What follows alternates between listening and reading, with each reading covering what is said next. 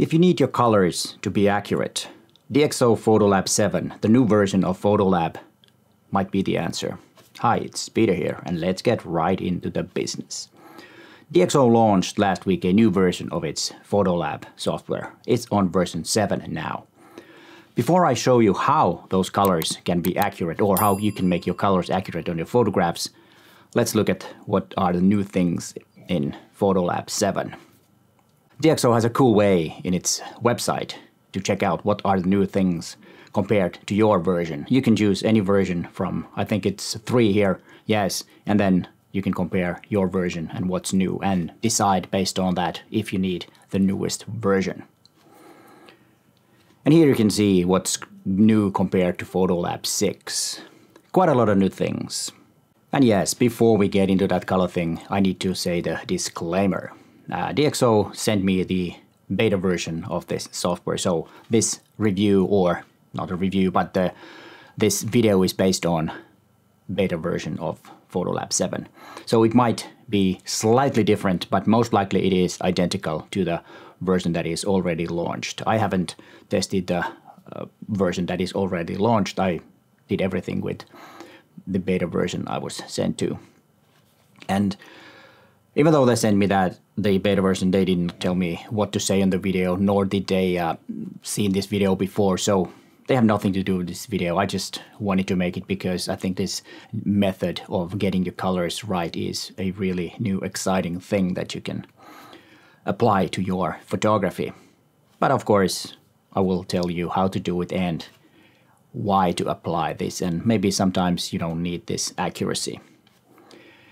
And I do also have affiliate links in the description. So if you want to get it, then it's much appreciated if you use that affiliate link. As you know, you don't pay any extra, but I do get a small commission and at the same time when you're getting a great software, you support my free content. But now to the point of this video, which is the color calibration thing. I have this shot of this tomato, so tomato sauce can. I needed to make one, one of these shots for one of my projects, so why not making a video about the color accuracy? Because usually if you do product shots, you want those colors to be exact the way they are. Of course, people have different monitors, but anyways, you do have the exact spot on colors on your image. To do this is first you photograph a target. So you need a compatible target to uh, photograph first and use the same exact lights that you are going to use for your products or whatever you're shooting.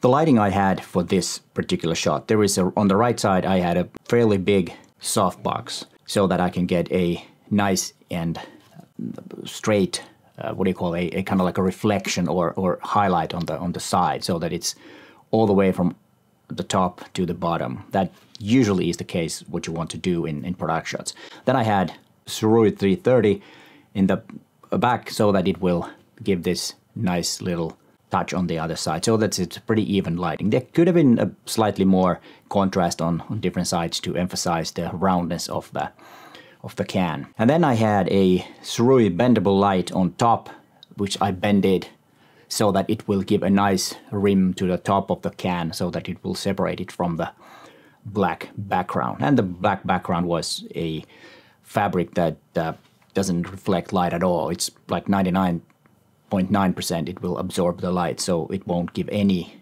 reflection. So it's pitch black, which is something that I needed for this particular shot after photographing the target, photograph the uh, subject or the product or whatever you're photographing. And here we have the images in Photolab 7. The first thing we need to do is go to color and black and white rendering, choose create a profile. This will pop up and choose your checker from the list. And then you line up the colors so that you will tell the software which color is which. This is really important to get this correct so it, otherwise it will be totally screwed. Once you've done that, Press Save and Apply. Save the profile on your computer. Now the colors should be perfect on this image. But then we need to apply this same profile to the actual image that you will convert the colors or you make the colors accurate. To apply this, go to the this place in the menu and then choose uh, DPC profile and then find the profile that you saved and use that, and voila, your colors are perfect. As I said, on product shots, usually that is something that we want. But what else is this method good for? I think it's a good way to calibrate your camera also. Just uh, make a shot in the studio environment, for example, and then every time you use those particular uh, lights in, in the studio, for example, use the profile that you have made. That's a generic profile, but of course you can make the profile every time you shoot. And especially these are good for LED lights, like I use mainly LED lights. I don't use the flashlights that much anymore. I, I use LEDs, but the, the problem with LEDs are that they will shift color over time. So some of my color, uh, lights are a bit older and they might have some color shift. So with this method, I can clean that color shift.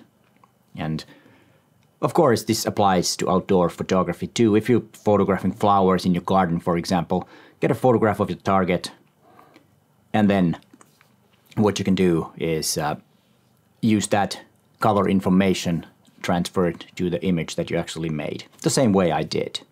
And about the affiliate links.